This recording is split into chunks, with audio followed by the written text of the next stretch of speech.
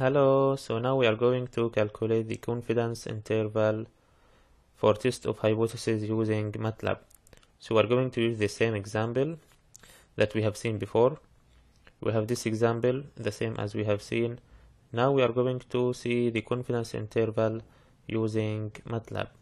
In confidence interval, we calculate the upper limit and lower limit as an interval and if mu naught or the hypothesized mean lies in between we fail to reject the null hypothesis. Otherwise we reject the null hypothesis. So now we go to MATLAB. So initially here this is the same code we have seen before. We initialize the data define the samples. We calculate x bar the average or the mean of data. We have n the length of data. We have mu the hypothesized mean 500 we already know sigma which is 2 so now the next point is to calculate the limits which are the lower limit and the upper limit of the confidence interval. So now the important command is norm inv. In the norm inverse we have two input three inputs. First one is the probability or the area under the curve so now we have two areas.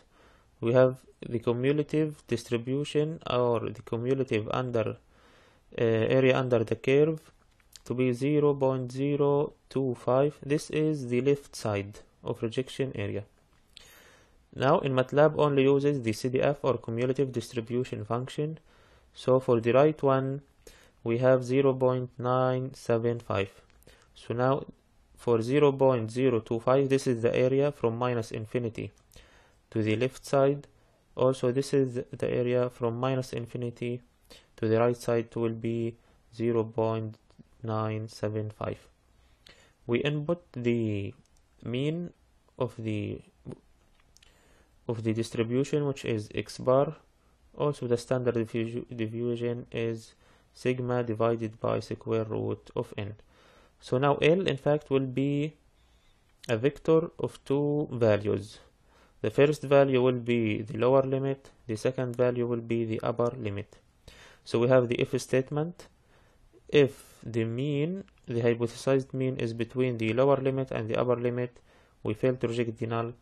Otherwise we reject the null hypothesis. Now let's run and see what happens in the command window I see we failed to reject the null hypothesis. So what happened?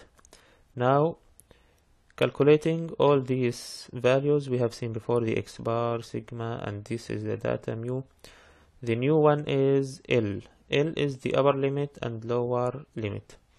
So now we have the upper limit and lower limit. We have lower limit 498.40 and upper limit 501.0178 we notice that the mu is 500 lies in between these two limits. So now if statement this if statement is executed we have the mu lies in between the lower limit and the upper limit. That's why we fail to reject the null hypothesis. Now we can go back to see if we have the same result yes. So now previously we have seen from the tables and this relation this calculation we have the confidence interval from this value to this value which are the same that we have got here in MATLAB from this value to this value. So our conclusion uh, apart from the way we are using we will fail to reject the null hypothesis